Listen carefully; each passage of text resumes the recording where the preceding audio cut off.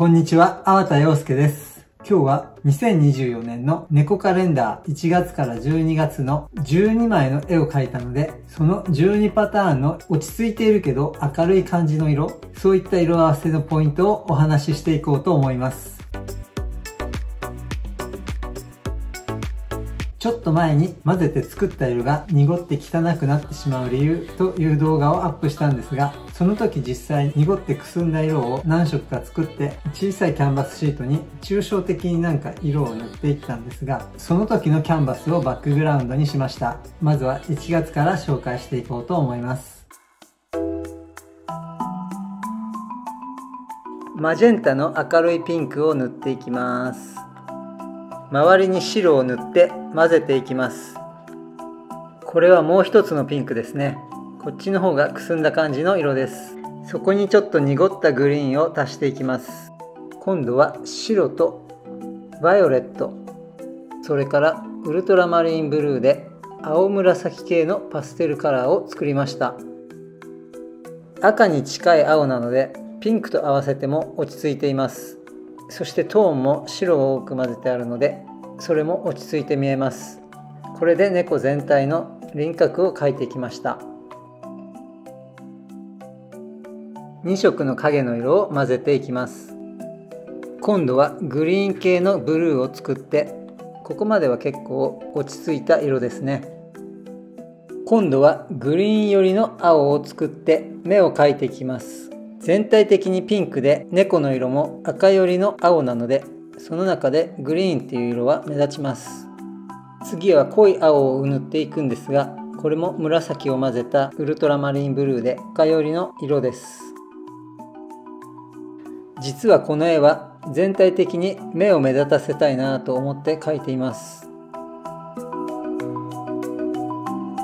黄緑が入るとより目の色が引き立ちます。ちょっと何かが足りない気がしたのでピンクの輪っかを周りに足しました。1月の絵をちょっと解説したんですがこんな感じでずっと喋ってると動画がすごく長くなってしまうので2月からはもっと簡単にお話しします。では次は2月です。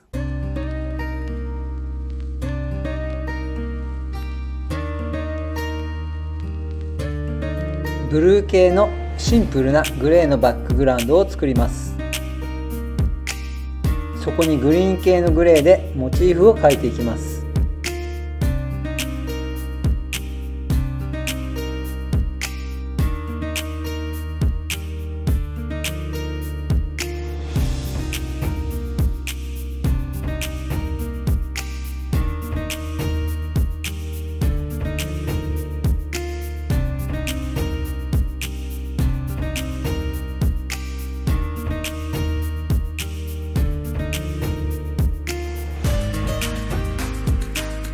これが2月の猫ですね。すごい地味な背景だったんですがブルーグレーのバッグにちょっとグリーン系の猫を入れてちょっと模様なんか入れてまあ地味なんですけどなんかそんなに地味じゃなくなったような気がします。目の色も目立っています。次は3月ですね。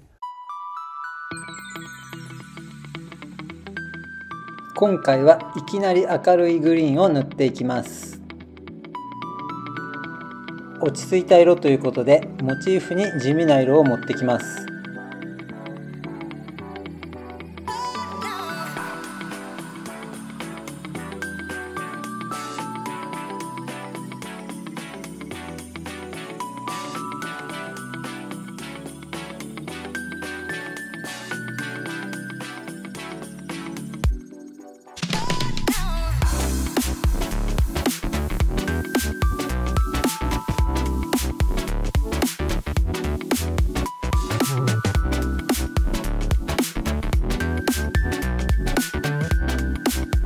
バックグラウンドは結構明るい色だったのでこの猫をちょっと暗い感じにしました。全体的にグリーン系でまとめてあります。では今度は4月です。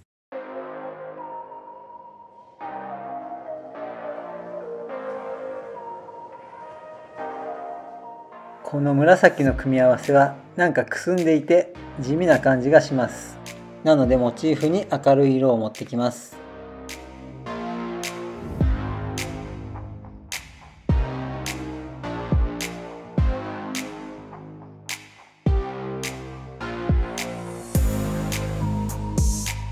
春らしくお花を入れていきます。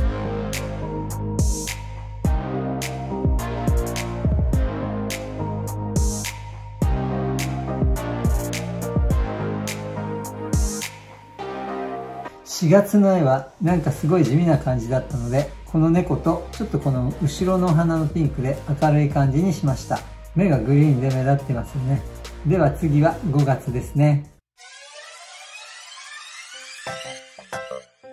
5月の絵は茶色メインで描いたんですがこの間ショート動画で出したものです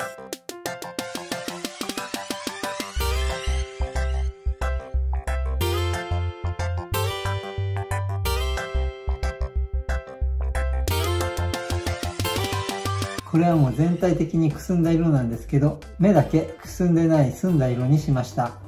これは秋の色の猫の絵ってことで、ショート動画にも載せたんですが、なんか渋い色ばっかりで、全体的に秋のイメージみたいな色が多かったので、これは5月に持ってきて、秋の色はこれよりも秋みたいな感じにしました。まあ秋が来る前に、今度は6月ですね。今回は明るい何種類かの青で塗っていきました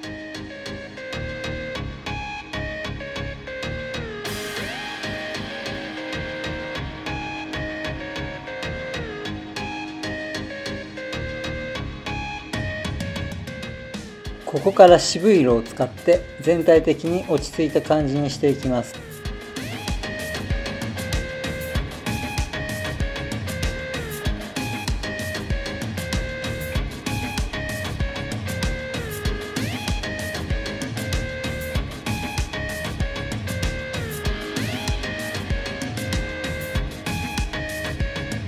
これは何種類かのブルーを作って最初から濁ってない背景でした。なので猫の体をちょっと濁った色にしました。この全体の色に対して目立つ黄色を目にして目立つようにしました。で今度は7月ですね。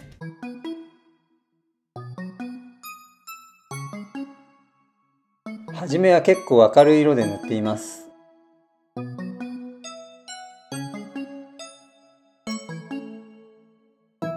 ここから暗い色そしてちょっと渋い色を塗っていきます。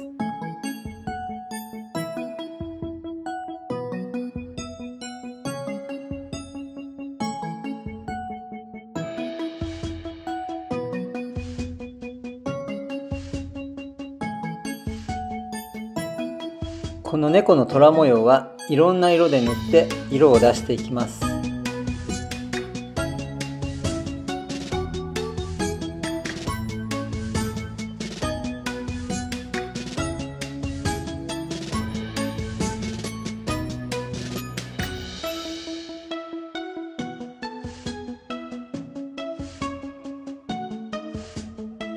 7月はこんな感じで全体的に明るかったので猫の方を暗い色にしましたが7月って夏なので他の絵に比べてちょっと明るい色にしました。今度は8月なんですがくすんだ色とかそういうんじゃなくてこのカレンダーのために1から描き始めています。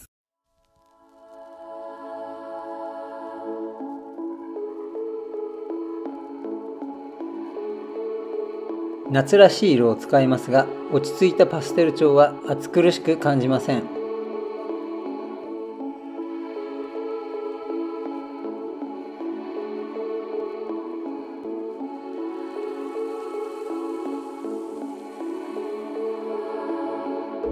春のイメージっぽくなってきたのでちょっと夏らしくしていきます。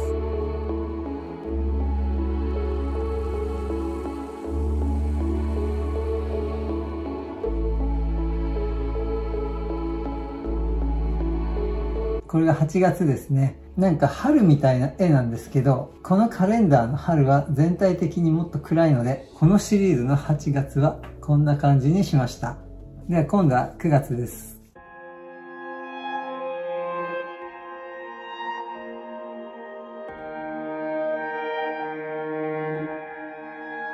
結構濁った色ばっかりで塗っていきましたが、ここから明るくしていきます。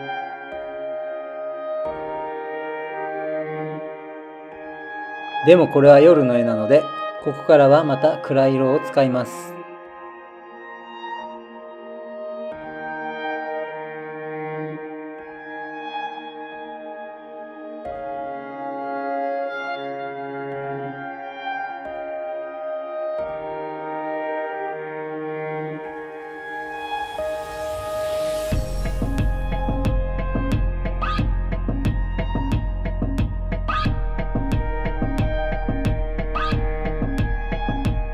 こんな感じになったんですが、さっきの5月を9月にしようかなと思ったんですけど、これは5月にして、この9月の月と目が目立つように描きました。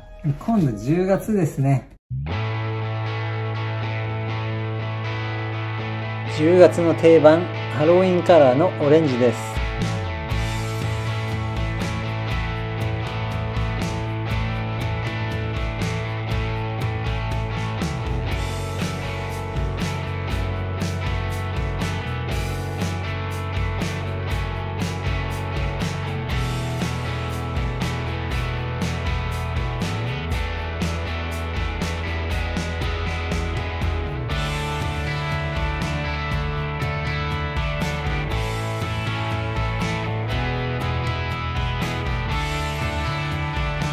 10月はこんな感じになりました。私が10月の絵を描くときはいつもオレンジに黒猫にします。でも今回の絵は全体的に暗くて、でもこのオレンジがすごく引き立っています。では今度は11月ですね。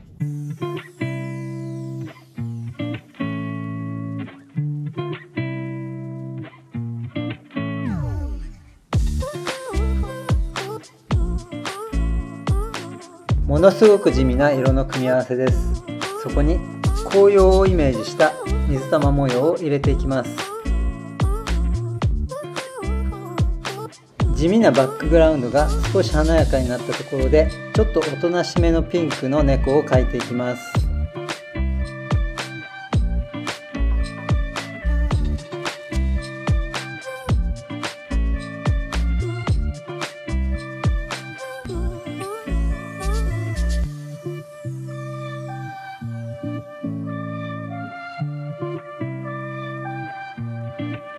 ころだけくすんでないグリーンを入れてみました。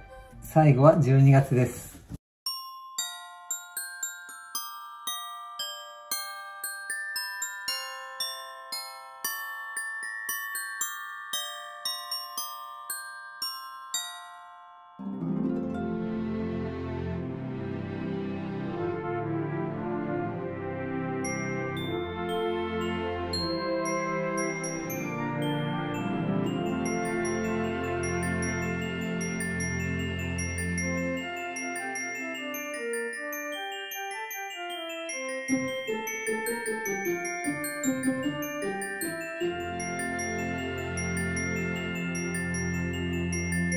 結構暗い色だったんですが、猫の色を明るくして明るい感じの色に仕上げました。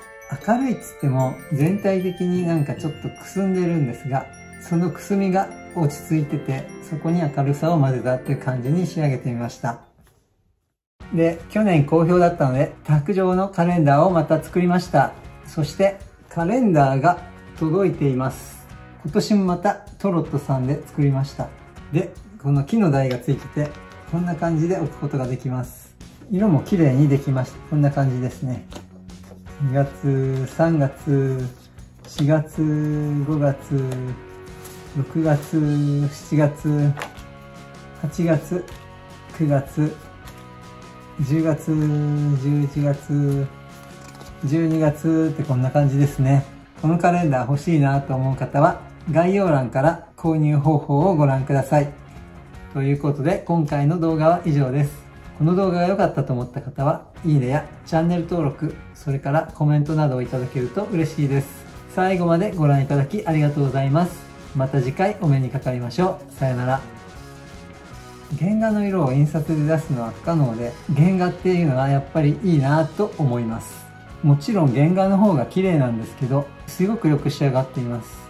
でも原画の方が色が良くなかったら、ちょっと画家としてショックですけどね。